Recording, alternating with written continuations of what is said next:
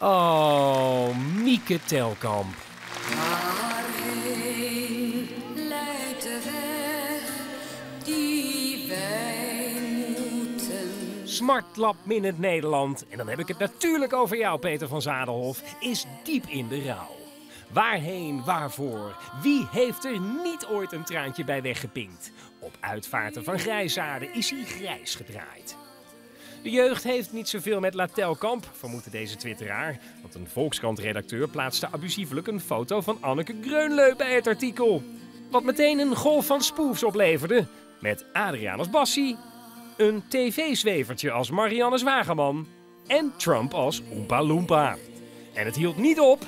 Zelfs NRC-hoofdredacteur Van der Meers werd prompt gebombardeerd tot Volkskrant-chef die zijn excuses aanbood. Wat dan weer schappelijk is van hem. Er was een debat in Amerika, het laatste, goddank. Behalve in Amerika en bij de enkele nachtelijke kijker in Europa waren de debatten ook een grote hit in Iran.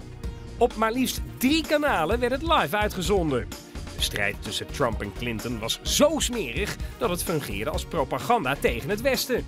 Hmm, Amerika weet zich niet zo heel goed te verkopen de laatste tijd.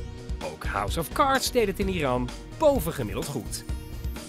En nog heel even over de presidentsverkiezingen. Madonna probeert kiezers te winnen voor Hillary. If you vote for Hillary Clinton, I will give you a blowjob. Okay? I take my time. I have a lot of eye contact. Yeah. And I do swallow. Heel goed, Madonna. Kunstgebit uit en gaan.